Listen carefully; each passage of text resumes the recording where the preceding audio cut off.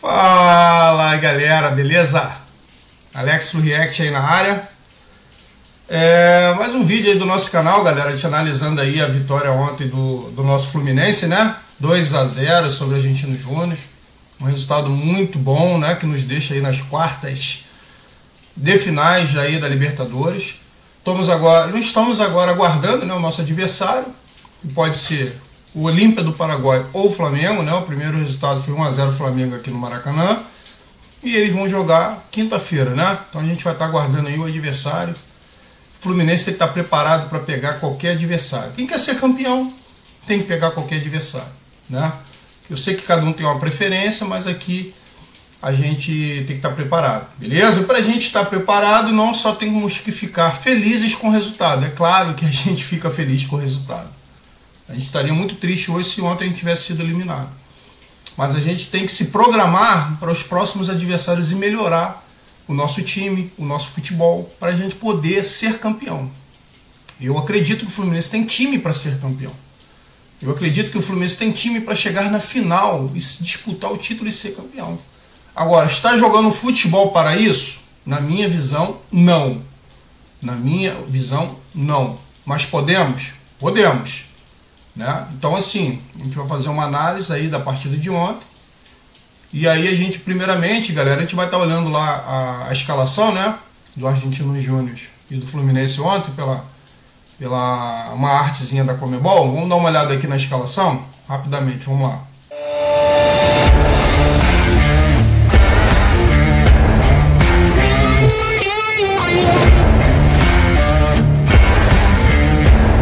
Então, galera, tá aí a escalação né, do Fluminense, né? Não tem, não tem mudança nenhuma, né? Só entrou o Diogo Barbosa no lugar do Marcelo, Marcelo suspenso, né? Fábio, Felipe Melo e Nino, Diogo Barbosa, Samuel Xavier, André, Lima e Ganso, Keno, Cano e John Ares, beleza? O time deles, eles, eles vieram com o terceiro goleiro reserva, por quê? O primeiro foi expulso, né, na partida de ida, naquele lance com o Diogo Barbosa, e o segundo se machucou. Então esse menino aí é um menino novo, né, jovem, da Argentina Júnior.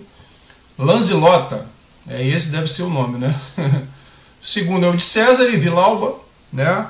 O Mini Salif, o Redondo, que é o filho do Fernando Redondo, craque, né, que jogou na seleção da Argentina. Cabreira, Moiano, Gonzalez, Montiel, muito bom, não é o Montiel lá do, do River Plate, mas é um Montiel muito bom de bola, um pontinha chato, deu muito trabalho pro, pro, pro Samuca né, no primeiro tempo. O camisa 8, o Rodrigues e o Gondu. O Gondu foi o que deu o chute do Argentino Júnior no primeiro tempo.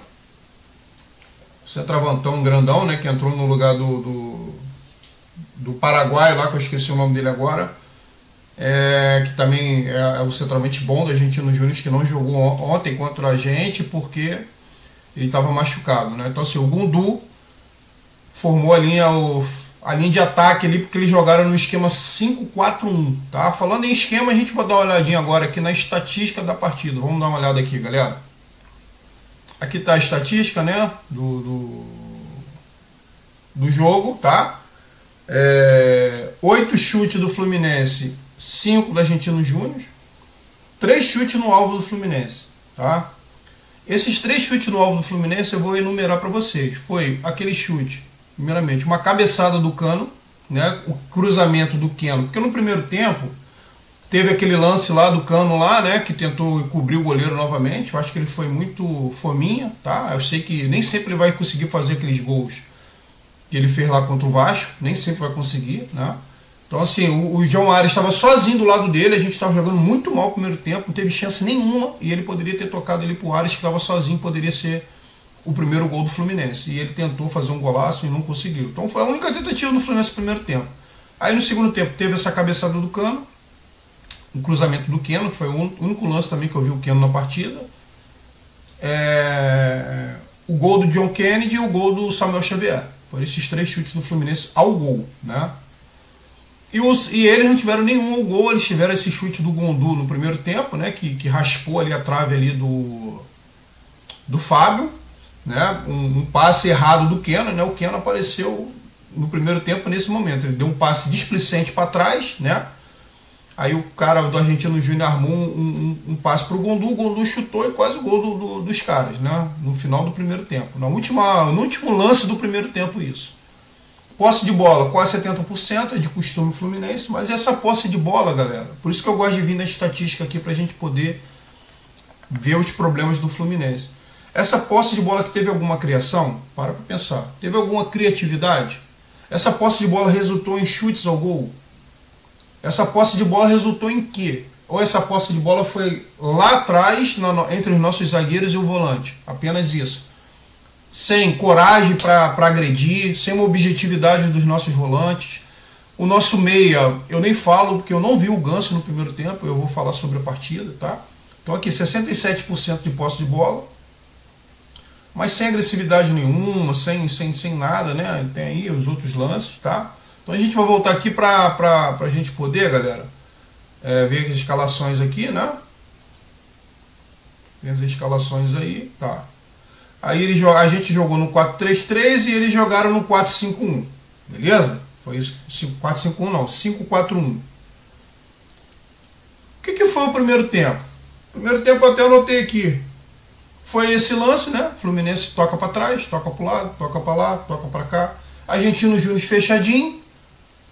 Esse Gondu aí, dando o trabalho ali a, a, a, ao Fluminense, o Milito ele revezava, uma hora ele fazia a linha alta, uma hora ele fazia a linha baixa, fazia a linha alta porque a nossa saída de bola é muito lenta, né? Com Samuel Xavier, é, Samuel Xavier não, com, com o André Felipe Melo principalmente, o André está muito lento nessa saída de bola. É, o Lima não ajuda ele também, né? O Lima, o Lima ele não, não, não ajuda essa saída de bola, né? Então, primeiro tempo, assim, eu vou fazer uma análise coletiva e depois individual. O Fluminense não fez nada. Então, assim, o Milito com 5-4-1 conseguiu prender o Fluminense ali no primeiro tempo. Tá? E, Alex, por que, que o Fluminense não conseguiu fazer nada no primeiro tempo e jogou tão mal e ficou ali preso ao planejamento do Milito no 5-4-1?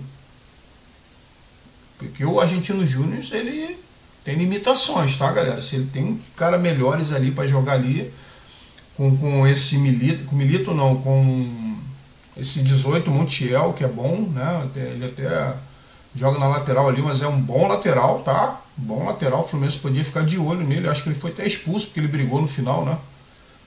Mas é um bom lateral esquerdo, tá? Bom lateral esquerdo esse Montiel. Gostei do Redondo e o outro centroavante lá deles lá, que eu me esqueci o nome também, que é muito bom de bola. Então, assim, o primeiro tempo, por que, que não aconteceu nada no Fluminense? Porque nosso, o setor nosso. São duas situações. Primeiro, esse modelo 433 eu não gosto. Tá? Porque fica um modelo posicional. Não gosto. O Keno, ele não faz as jogadas do, do dinizismo. Tá? Então é um dinizismo estéreo. O Keno ele fica preso na lateral, na ponta esquerda. No máximo que ele faz é ajudar ali a recompor ali ao lateral. E ele nem fez isso muito ontem. Achei ele muito displicente tá? um toque para trás no final do primeiro tempo que quase gerou o gol do Argentino Júnior. Ele no 1 contra 1 não conseguiu levar ninguém no 1 contra 1. E outra coisa, nesse modelo 4-3-3, ele acaba sacrificando o John Arias. Porque o John Arias tem que ficar mais preso na direita. Não é aquele Arias que circula né, o meio de campo do Fluminense, que flutua, que às vezes está na esquerda, às vezes está na direita. O John, John Arias, quando ele jogava ano passado, né, em 2022, o Keno nem fazia parte do plantel do Fluminense que ele chegou esse ano, o John Arias rendia muito ali com o Cano, com, a, com o Alexander, com o Ganso, né, com, com o Matheus Martins, que estava no elenco. E esse ano, alguns jogos que deu certo no 4-3-3, são alguns jogos. Quando tá muito o time lá está muito fechado e o Keno está no dia inspirado, né? É, aí tudo bem, mas geralmente o ponta para poder quebrar linhas aqui tem que ser jogadas muito rápidas, eles estão fechados. Eu gosto do 4-3-3 com contra-ataque, eu gosto do 4-3-3 quando o time lá adversário está precisando do resultado e vão para cima de qualquer jeito, aí você pode puxar um contra-ataque. Mas no modelo do Diniz, que é troca de passe, troca de posição, é, o Keno acaba acabando com o dinizismo. Né? O 4-3-3. Será que o Diniz não enxerga isso? Eu tenho certeza que sim. Né? Mas é a declaração dele. E outra coisa, não é só o Ares, o Ares só não, tá? Não é só o Ares que o Keno prejudica nesse 4-3-3, não. O Diogo Barbosa também, tá? Porque o Diogo Barbosa não tem característica igual o Marcelo para cair pelo meio.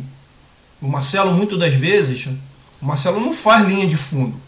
O Marcelo, ele joga aqui corta para o meio. Né? O Marcelo, ele corta para o meio. Então, é, o Keno com o Marcelo até se dá bem. O Keno com o Marcelo até se dá bem porque o Keno ele fica preso na ponta esquerda, ele vai para o fundo quando ele consegue, mas o Marcelo faz o facão para o meio. Né? A gente vê muito o Marcelo chutar, tá? às vezes está no meio, às vezes está na direita. Então o Marcelo é um lateral barra meio hoje em dia. O Marcelo não é um lateral lateral. Né? Se tivesse uma cobertura melhor para o Marcelo, eu botaria o Marcelo aqui, cara, sinceramente. Depois a gente fala sobre isso. Numa posição aqui como segundo volante, como homem do meio de campo, no 4-4-2. Porque o Marcelo é muito criativo. Mas então assim, o Keno com o Diogo Barbosa quebra o Diogo Barbosa, porque o Diogo Barbosa ele é um lateral lateral, ele vai muito profundo. O Diogo Barbosa vai muito reto. Ele não faz aquele corte para o meio como o Marcelo faz. Entendeu? Então o Keno, quando está Diogo Barbosa e Ares, ele quebra os dois. Ele quebra o dinizismo, é, obriga o Ares a ficar na direita. Ele geralmente não está conseguindo um contra um, né? E também o lateral, quando é o Diogo Barbosa, também fica prejudicado. Beleza, galera? Então, assim, o Fluminense não teve criatividade nenhuma, é tanto que a gente não teve gol, o chute a gol nenhum. Mas por que, que isso aconteceu? Por dois motivos. Saída de bola lenta, marcação alta do Argentino Júnior, tá? É, eu achei uma. É, tá muito, os, os zagueiros estão muito sem coragem para poder. Principalmente o seu Nino, tá? O seu Nino toda hora ele volta para trás, não é aquele Nino que rompia as linhas, que tentava, ajudava também numa transição, né? O Nino tá muito burocrático, toda hora toca para trás, toda hora toca para trás. O Felipe Melo, com toda a sua deficiência física, mas ele com a bola nos pés, ele ainda consegue ainda fazer lançamento, consegue ainda às vezes agredir, tá? Então o Felipe Melo na saída de bola está melhor do que o Nino. O Nino é melhor é, recomposição, né? Tática, né? mais força física e tal, não tem comparação. Mas na saída de bola, o Felipe Melo para mim ainda é melhor do que o Nino. Lógico que eu não quero o Felipe Melo titular, tá, galera? Vou fazer uma observação de ontem, da partida de ontem. Aqui está o, o, André, que também está demorando muito a sair, né, jogando. E principalmente duas peças aqui que o nosso médio de campo tá, tá, tá, tá Está morto. Primeiro, que a gente tem uma peça nula aqui, né, na ponta aqui que fica parada aqui, que é o Keno, que eu já analisei ele, e fica o Lima e o Ganso sem o Lima, que não faz o papel do Alexandre, que é o volante box to box, que pega a bola e faz a transição rápida para poder saída de bola e pegar o time adversário né, de, de é, é, desatento, né? A gente não tem esse cara que faz isso. Desde que o Alexandre saiu, não é o Martinelli e não é o Lima. O Daniel poderia ser, porque o Daniel fez isso na época do Diniz em 2019. O Daniel, ele, com a marcação que o Lima tem, que é zero, eu prefiro o Daniel. Com a marcação do Lima, zero. E a marcação do Daniel, eu prefiro o Daniel. Com a transição que o, que o Lima não tem e o erro de passe que ele está tendo, entre ele e o Daniel, eu prefiro o Daniel. Beleza? Então, assim, o Lima é uma peça nula e eu quero saber por que, que ele é titular. Quem puder falar aí, me explica, por favor. Né? Ah, ele tem o mesmo empresário do Diniz. E se isso é colocado na, na balança, eu não tenho como provar, isso é ridículo. Bertolucci, sim. Né? Diz que é o mesmo empresário, não, é, é, não sei se é o Bertolucci, que eu ouvi falar, mas eu sei que é o mesmo empresário do Diniz e do Lima. Então, seria, seria isso? Não acredito, cara. Então, enfim, não vou nem, vou nem me estender nesse assunto. Eu não tenho prova, enfim, eu não gosto de me estender em assunto que eu não tenho como provar. Mas assim, nada justifica a titularidade do Lima. Alex, o Lima é um pangaré, você não queria ele? Não, eu não, eu não critiquei a contratação dele. Eu acho que o Lima pode ser uma boa peça pro, pro plantel do Fluminense, entrando no segundo tempo. Por exemplo, contra o Palmeiras, o nosso time estava muito fraco. Eu até falei isso na última análise, fisicamente, né, na estatura, que o Palmeiras estava ganhando em todas as bolas aéreas e na imposição física, com o John John, com o Rios, com o Gabriel Menino ali, porque são caras maiores. Então a gente tinha Léo Fernandes baixinho e Daniel baixinho, né? Todo mundo ali muito baixinho, John Arias baixinho, André, André não, era o, era o Martinelli, né? E o Lima no segundo tempo quando entrou, ele melhorou um pouco a imposição física do Fluminense. E ele, ele não errou o passe, ele melhorou um pouco ali o meio de campo do Fluminense contra o Palmeiras. Mas quando ele começa jogando, não dá nada certo, porque o que ele tem que fazer, que é a transição, ele não faz, ele erra passe ele toca para trás, ele não está com confiança. Então, assim, ele não marca, ele marca com o olho. Pode perceber, o Lima está sempre distante de alguém, ele não faz marcação, pressão. Então, eu não sei o que, que ele faz de titular no Fluminense está prejudicando o meio de campo do Fluminense. E o Ganso? Vamos falar do Ganso? O Ganso, muitas das vezes, galera, eu estava observando, ele joga aqui por trás dos volantes, como um falso camisa 9.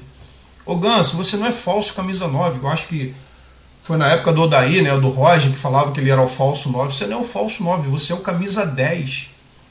Você está vendo que o time está com dificuldade de, de, de, de, transição, de armação, porque os zagueiros, né, eu já critiquei o Nino, não faz essa transição mais. O Lima a gente não conta com ele. Né? Aí fica ali o John Ares sobrecarregado na direita. Cadê o Ganso? O Ganso está escondido aqui. Então, Ganso, você tem que recuar mais e pegar a bola e distribuir o jogo. Você tem que assumir a responsabilidade sua, né? Ficar escondido ali por trás de volante, ou às vezes quando ele está caído aqui na lateral. Igual o Nenê fazia, lembra do Nenê? O Nenê era muito assim no Fluminense.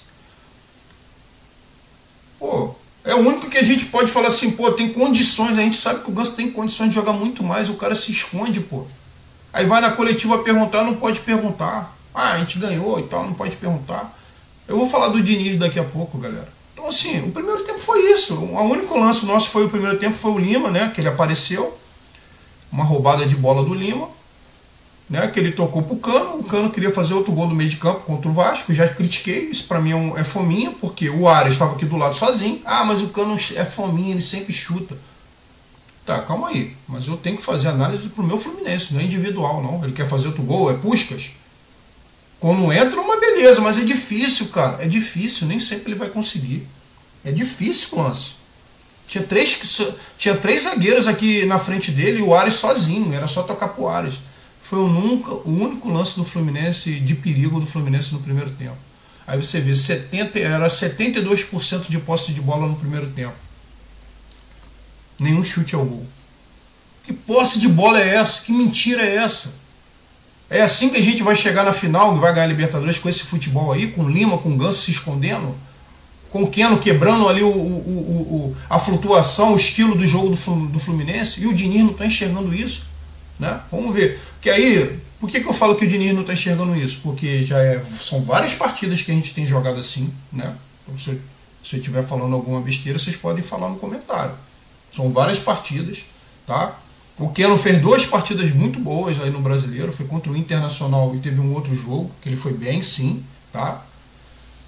Mas é, geralmente não está dando certo esse esquema.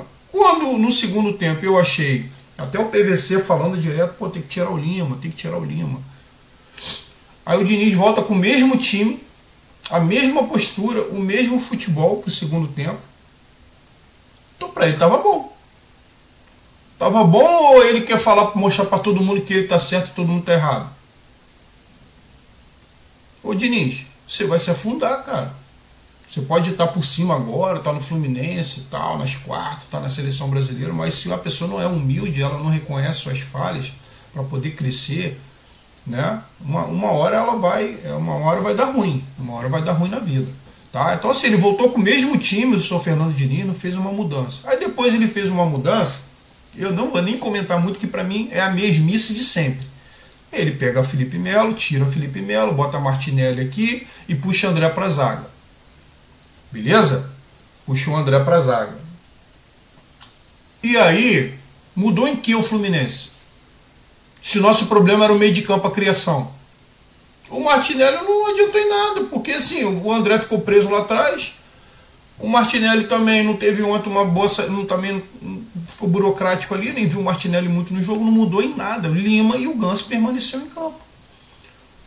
E o Argentino Júnior tinha botado ali um, um, reserva ali, que eu esqueci o nome dele. Esse aqui, o Nuis, não é isso? É, esse tal de Nuis aqui, meu amigo. Esse Nuis aqui infernizou o Fluminense. Vamos falar aqui, galera, vamos ser justos, né? Porque eu sou justo na minha análise. Se o juiz quisesse dar pênalti no lance do André e também expulsado, não sei se foi antes ou depois o lance da expulsão, poderia. Poderia. Foi por causa disso que o Argentino Júnior foi eliminado? Não, acho que o Argentino Júnior também foi muito. É, é, queria muito levar o jogo para os pênaltis, não teve muita. É, objetividade, né? Dizer que ficaram catimbando e tal. Mas se o juiz quisesse expulsar e dar o pênalti, e se marcasse, para mim, não seria roubo nenhum contra o Fluminense. O pé do André pega aqui no cara assim, ele esticou o pé muito alto e o André não estava bem na partida, galera. Não estava bem. Teve um lance no primeiro tempo que ele foi sair jogando de novo. O cara do Argentino Júnior roubou no primeiro tempo, quase fez o gol. Um lance lá do pênalti lá, eu acho que ele poderia proteger mais e não chegar por trás fazendo alavanca, encostando. Tem muitos lances que o juiz não marca? Tem, mas é a interpretação. Mas se o juiz marcasse, estaria errado? Não. Se expulsar, estaria errado? Não, porque a jogada foi uma jogada brusca. O pé dele levantou muito, pegou sim e cortou por trás da orelha do cara. Então, eu aqui não vou ficar fazendo análise só em favor, porque eu sou fluminense, não, galera. Beleza? A gente aqui vai fazer uma análise justa. Se fosse para expulsar o pênalti, seria justo, tá bom? Mas não foi por isso que o Argentino Júnior foi eliminado, não, tá? Eu acho que eles foram muito conservadores, querendo muito catimbar, levar para pênalti, isso também, né? A bola também pune também, né? E aí veio as duas mudanças que o Fluminense precisava. Saiu o seu Lima e o seu Keno. Que noite é essa? Aos 72 minutos. Cara, vou te falar, cara. A torcida do Fluminense tem que aguentar até os 72 minutos do segundo tempo para poder ver esses dois caras que não fizeram nada. Um que não tem transição, que não faz criação, que não marca no meio de campo. E o outro que atrapalha esse esquema do Fluminense, porque fica preso igual um poste ali na, na ponta esquerda e não faz uma jogada de transição, não, não vai. Não, enfim, é, já expliquei sobre o Keno. Então, só os 72 minutos que o seu Diniz vai e muda essas duas peças aqui e aí o Fluminense melhora. Melhora por quê? O Danielzinho, ele marca a mesma coisa do que o Lima? Pode ser, mas ele tem muito mais objetividade, toque de bola, tem mais coragem, mais ousadia. Ele sempre tenta o lançamento. Beleza? Diniz, você conhece o Daniel, o Daniel jogou com você. Não tem que ser medalhão ou ser o jogador que você gosta, tem que ser titular, não. Tem que ser, tem que ser meritocracia, tem que entrar os melhores. E o John Kennedy?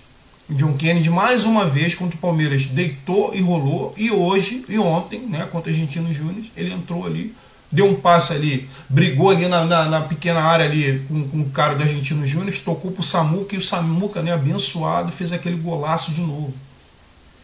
Ó, vou te falar, hein, o Samuel Xavier depois que tomou o abraço daquele rapaz lá em dezembro de 2021, tem que achar essa galera, esse cara aí, hein? Tem que achar ele para dar um abraço no Lima, dar um abraço no, no, no, Ganso, dar um abraço no Keno. Tem que abraçar uma galera ali, né? Abraçar o seu Fernando Diniz, né? Para ver se sai a, a teimosia da mente dele, né? Para ver se abre a mente dele, porque a gente quando critica aqui. Porque, poxa, quando o Diniz voltou, eu fiquei muito contente pelo futebol que apresentou em 2019, mas o Diniz está engessado em muitas situações no Fluminense. Com escalação, com mudança, com esquema tático, com jogadores que ele preferencia relacionado a outros, que ele não está sendo meritocrático. São várias situações que eu, tô, eu tenho que criticar o Diniz, tá? Então, assim, o Fluminense, depois que fez essas mudanças, por incrível que pareça, né? Coincidência, fez o primeiro gol, a briga ali do John, do John Kennedy ali, né? Porque ele, ele bota esse gás na partida, golaço do Samuel Xavier, e aí aquela confusão da Argentino Júnior, papapá, né, que eles já estavam nervosos pelo lance lá do pênalti que não marcou e tal. E aí no o Daniel, né, um passe. Ah, mas qualquer um dá aquele passe. Será? Será? Você já viu o Lima dar aquele passe? Você tem visto o Ganso fazer esse passe para frente? Ganso tem condições? Muita. Mas o Ganso só toca para o lado. Então o Daniel achou o John Kennedy. John Kennedy de forma inteligente segurou aqui na linha para não ficar impedido deu um corte bonito no zagueiro e pimba, o goleiro ainda tocou na bola, bateu na trave e entrou. Por que não, Diniz? Vamos falar agora aqui do Diniz. Né? Porque as mudanças para mim que tiveram feito foi John Kennedy e Danielzinho. O Marlon entrou no final, né? ali no lugar do, do, do Cano, né? para dar uma segurada. Aí ele botou o André de novo, de novo na sua posição. E o Matheus Martinelli, para mim, ontem não, não mudou em nada o estilo do Fluminense, tá bom? Então, assim, o Argentino Júnior é um time muito bem armado, tem ideia de jogo muito bem é, é, fundamentada pelo seu técnico, os jogadores eles colocam isso em prática, é um técnico muito bom. Né? É mais um técnico aí para. Será que o Mário Bittencourt olha para esses técnicos estrangeiros? mais uma vez, o Caixinha do Red Bull, o Antônio Oliveira do Cuiabá, o técnico lá do Tajeres, que eu já fiz um vídeo falando dele, né, que eu esqueci o nome dele agora, esse técnico aí do Argentino Júnior, o Milito, tem o técnico da, da, do Independente Del Valle, beleza? Tem vários técnicos bons aí na América do Sul, habla ou fala português, né, de Portugal.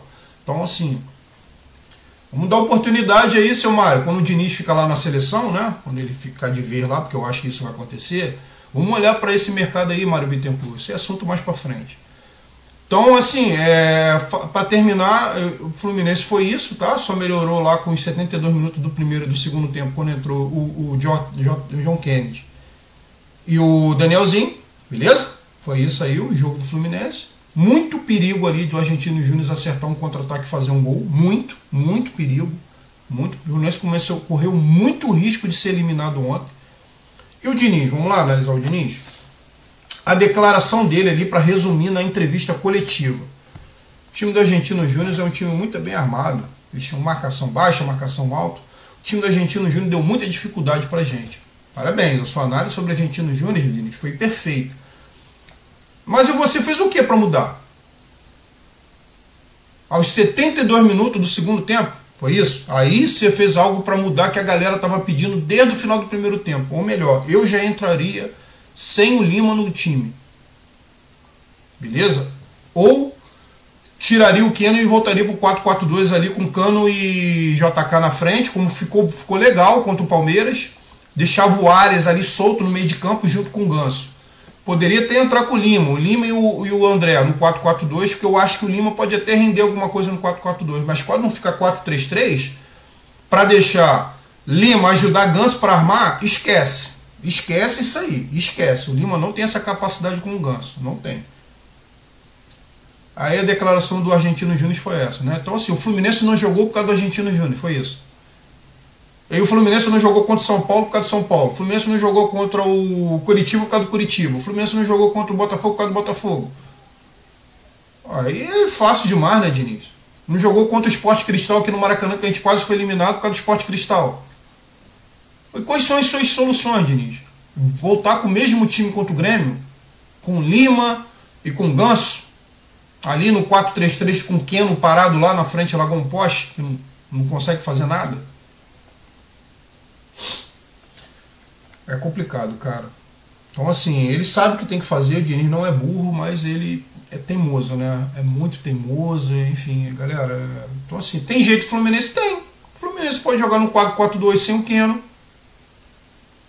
Beleza? E deixar o German Cano e o John Kennedy aqui no ataque, galera. Se a gente tem um, um volante que faz transição como o Alexandre fazia, pode ser até que o Keno entre ali no segundo tempo, o Keno, o Keno seja calado, o Marcelo aqui na lateral esquerda, mas nesses jogadores aqui, nesse modelo, não dá certo. Não dá certo porque o Lima não faz essa transição. O Keno com o Diogo Barbosa eu vi que não dá certo porque os dois ficam no mesmo espaço do corredor. E o Diniz tem que enxergar isso. Né? O Diniz tem que fazer mudança, a gente tem que cobrar isso, galera. A gente pode ser eliminado na próxima fase. Poxa, entendeu? A gente, eu quero ser campeão, vocês também. Então, assim, a nossa crítica é para isso, a gente quer ser campeão. E aí, a gente agora vai é, é, analisar aqui os, os jogadores individualmente. Para mim, os perebas, né? Vou falar assim, que não deu em nada, é Lima para mim e Keno. E depois, em terceiro lugar, o Ganso porque não deu criatividade nenhuma para o Fluminense, fica se escondendo também atrás de volante. Tá? Mas assim, o Keno e Lima disparado, né? O seu Fernando Diniz também, é, é, porque a culpa é dele, é ele que escala e tem visto isso né, constantemente, não foi somente ontem, não foi um jogo pontual. O Fluminense está muito parado, muito posicional, isso fica fácil para qualquer time marcar gente. Aquele dinizismo de troca de passo de criação não tem acontecido, não tem chegado bola no ataque. A gente só deu três chutes a gol ontem, com 70% de posse de bola, infrutífera, que os zagueiros ficam tocando para um lado e para o outro. O Nino também tem crítica, o Nino não tem feito aquela transição. O André também está muito lento. Né? Tem que focar mais.